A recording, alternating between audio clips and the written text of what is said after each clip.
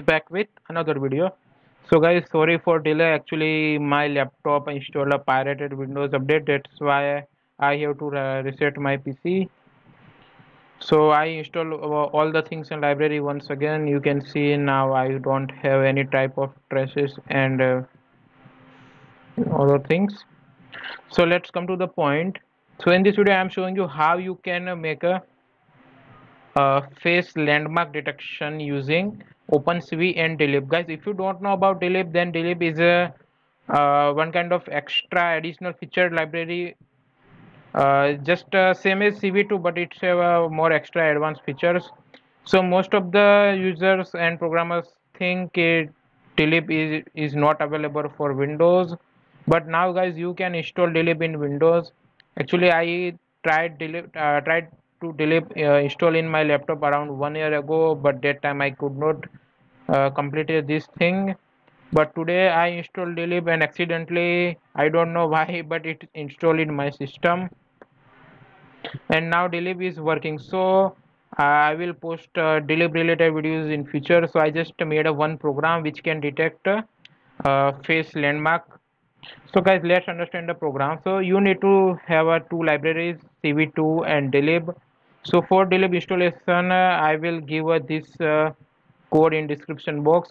So guys this version is only for python 3.6 i am using python 3.6.8 if you have uh, python version 3.7 then just go to the unofficial wheel packages website and find DLib wheel. DLib will uh, not install with pip install DLib you have to download wheel file.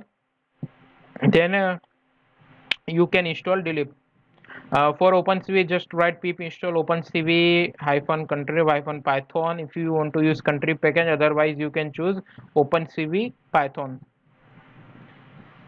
So let's understand the code. Now I have written cap is equal to video capture zero. Uh, here I will mention zero. Zero means it capture video frames from our webcam.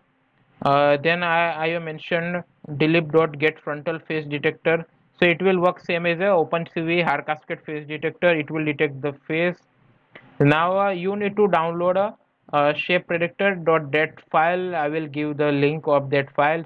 So just you have to paste the file uh, in uh, your working directory. Now obviously if we uh, if we doing anything related to face detection or anything so we need to run our infinite loop so now i'm just running infinite loop. Then uh, i have to read all my frames one by one so i will define frame and then cap dot read. Guys if you don't know what is this thing then uh, this thing uh, uh, uh sorry uh, this will return a boolean value true and false. If it get a frame then it return true. If it did not get the frame it will return false. So cap dot read return two things. That's why we define this two kind of variable here. Then we converted our frames in gray. Then we have mentioned detector. Detector means of our this object. In detector we define gray frame. Now we need a uh, face coordinate uh, top uh, top uh, left right bottom. So in for doing this task we use for loop in this.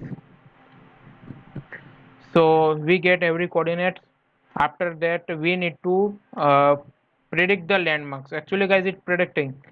So predictor which is uh, already uh, already available in DLib so just we have to choose predictor. Predictor is just uh, which uh, where we have read our shape predictor file. So this file will predict our facial landmarks.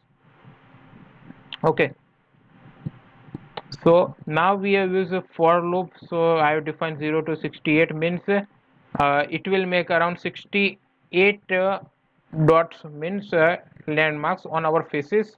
Then just we define x and y part and make a circle means dot where, where landmark detector it will make the dot. After that we have just mentioned cv2.im show.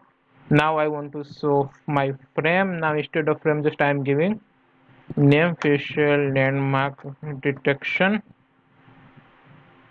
Okay so just uh, i turn on my caps lock.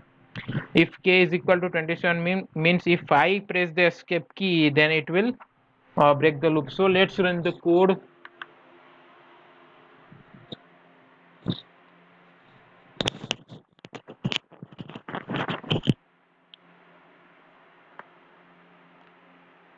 so guys you can see it's looking weird but it's working very perfectly. So so guys i will upload future in future many things related to DLib so just subscribe this channel. You will get all the things in description. If you can't uh, if you did not get anything then just uh, comment down and follow us on instagram if you want to contact me. So guys like and share this video and subscribe the channel. So guys thanks for the listening me